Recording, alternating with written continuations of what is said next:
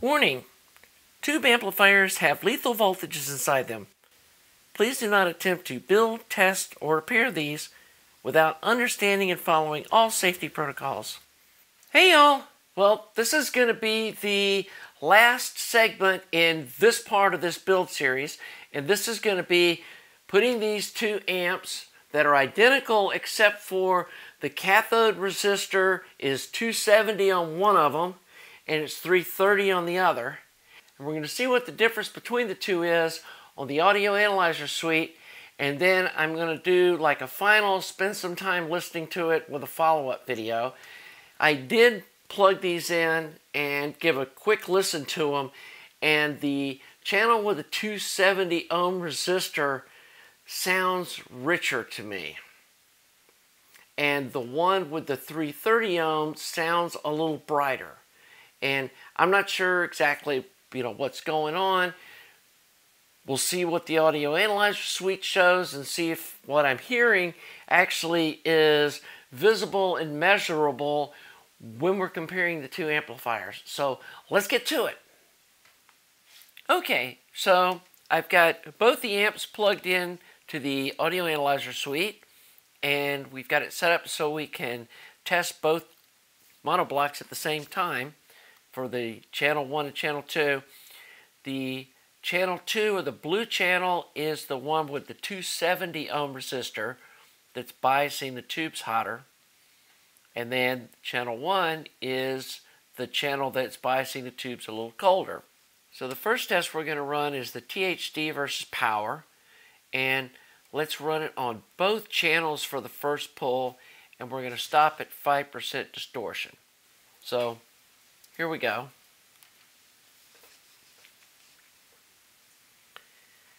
And they start off the same, but then quickly the channel that's biased hotter has less distortion.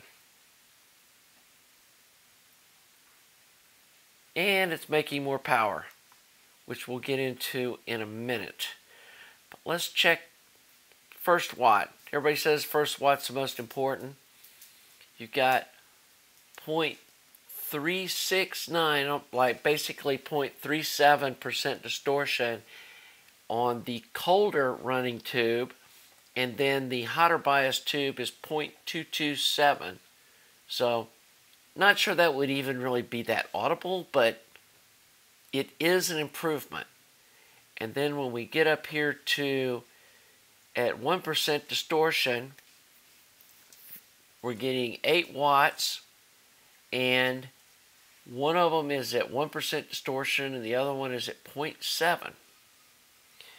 So to really see the power, we're going to run these individually. So let's do the colder running tube.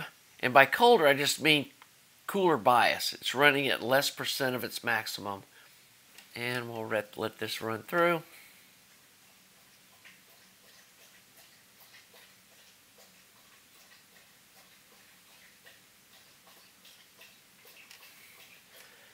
And there's Dolly drinking in the background. Okay, so like we saw at 1% distortion, we got 8 watts. And then at 2% distortion, which is kind of where I call the limit on power. From there, you're getting into heavy clipping. And on a scope, we may already be seeing some pretty heavy clipping. But we're seeing 9.4 watts. So now we're going to do the channel 2, which is the monoblock that has the 270 ohm resistor in it versus the 330.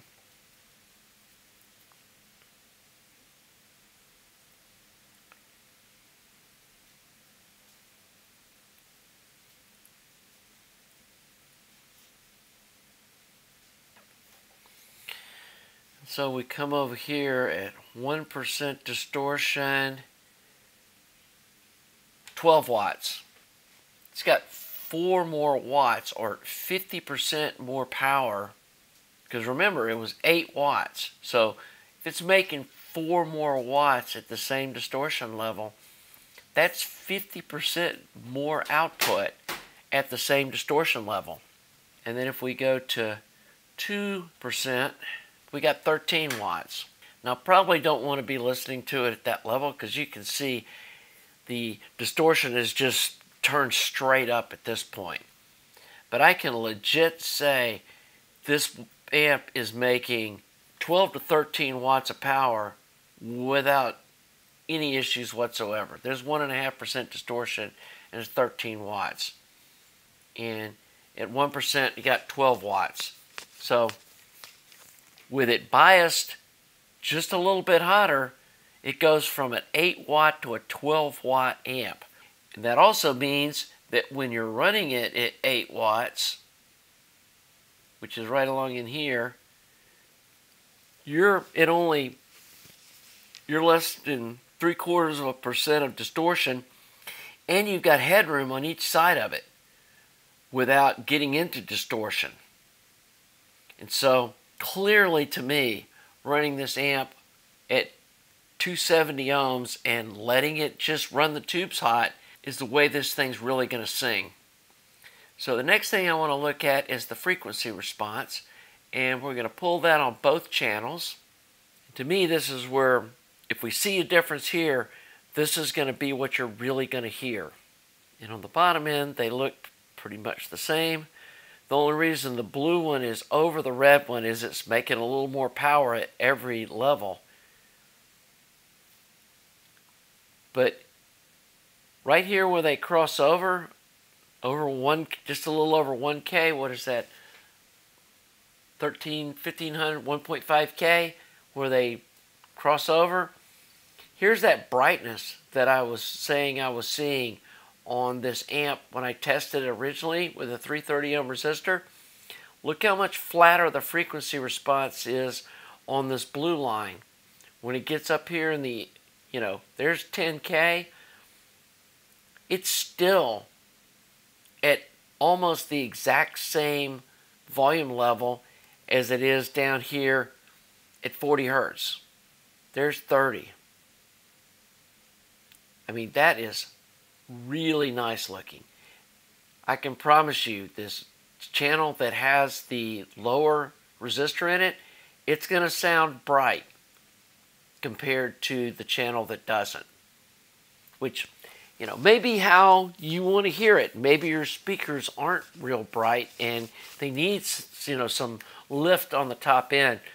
So realize you can tune the tone of this amp by changing that cathode resistor. And if you don't need 8 watts of power, let's say you only need 5, then maybe if you've got some dull sounding speakers, it might sound better with 330 ohm resistors in it. But with my Klipsch speakers, I'm pretty sure it's going to sound better with the hotter resistor in it or with the 270 ohm resistor where it runs the tubes a little closer to their max.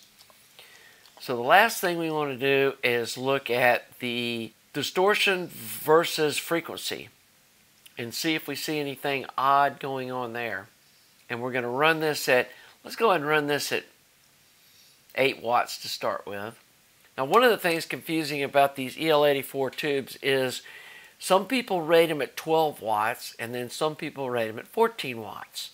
And I think if you're running like the JJ tubes, you probably want to consider a 12 watt tube. But I believe that if you're running some of the higher qualities, maybe some new old stock or these gold lion ones, that you can get away with rating it as a 14 watt tube.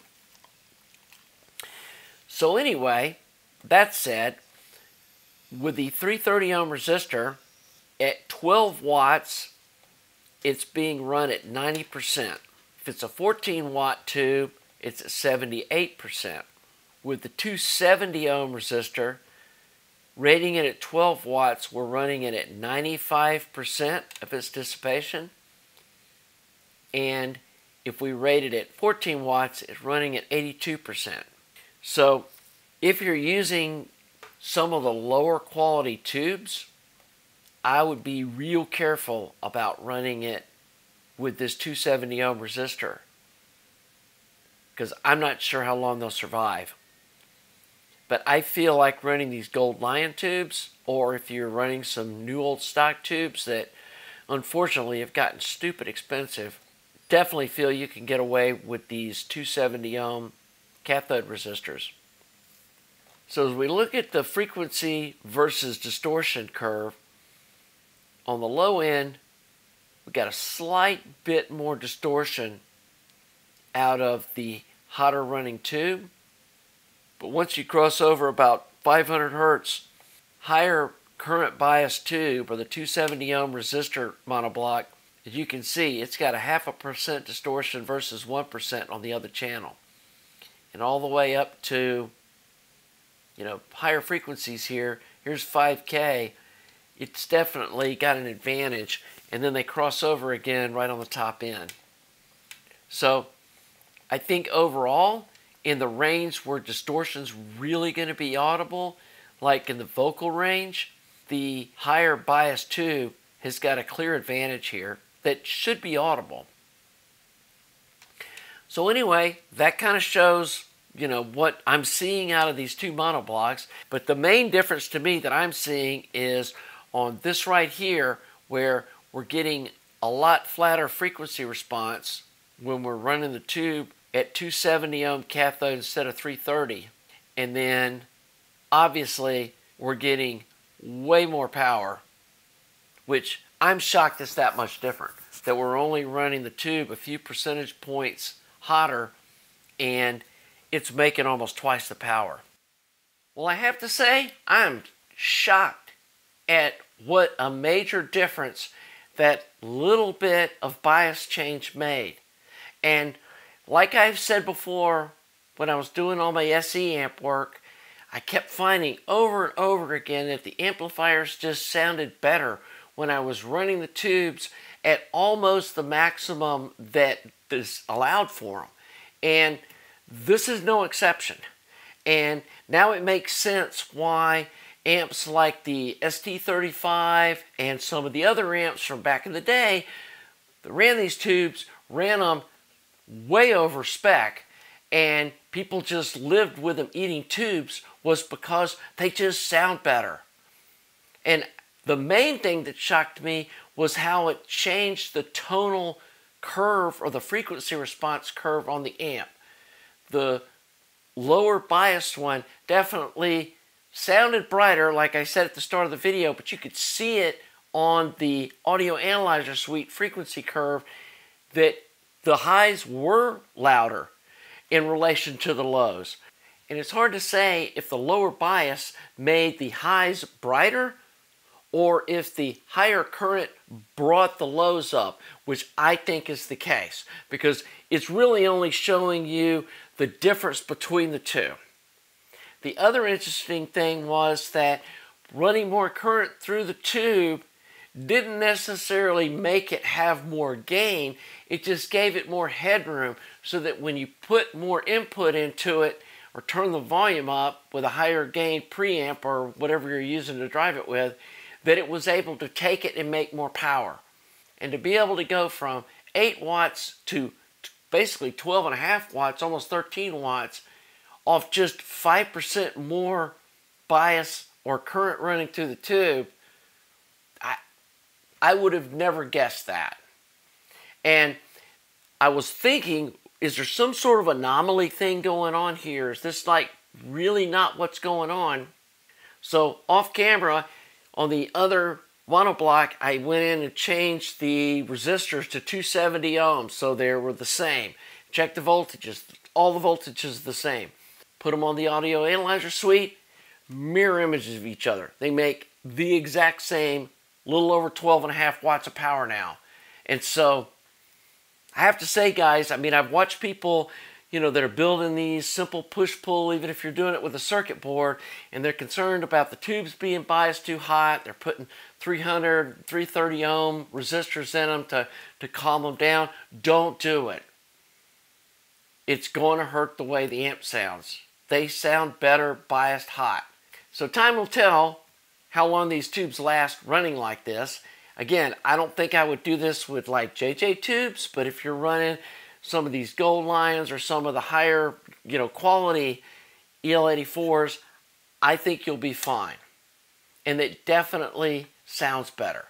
So for now, I'm done with this project, and I think they turned out great. I think they look awesome, these mirror copies of each other. But these are going to be something that I do a lot of testing of theories and stuff on. In the future, you will see these again on my channel.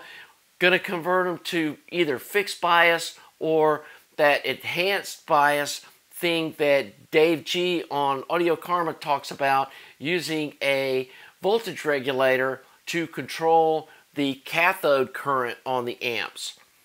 And so we may try that first and then, you know, set up an actual fixed bias setup on it to see how those different things affects the power. I'd like to try to milk 17 watts each out of these things like an ST35 got. And I'm pretty sure that that's within the realms of possibilities. But for now, need to get working on the R8. Got some other projects, probably want to build the 2A3, some other things I've talked about doing on the channel. So for now, these are done. Before the first of the year, I'll try to get the schematic as these are built and tested up on my website and try to get a BOM together. BOMs are just so time consuming. I, I mean, you guys know when you try to search for the parts, how time consuming that is and why you want me to do that for you, but I'll try to do it. But, you know, that's a probably three or four hour job trying to put a BOM together for one of these amps. So anyway, hope you're enjoying this content. Hope you enjoyed this series. Hope some of you guys build these little amps. Again, if you're not comfortable doing point to point, this looks a little over your head, there's the circuit board that's in the description from Tube Labs that makes this a lot easier. At some point in the future, I may even try doing the circuit board version of this little amp and see how that sounds compared to these point-to-point -point wired monoblocks. So, who knows? Don't want to get too sidetracked down this rabbit hole though, because we've got tons of other cool stuff to do next year, and I really want to keep the projects rolling through and so y'all can enjoy this content. So anyway, sub to the channel, like the video, and we'll see you soon. Have a nice day.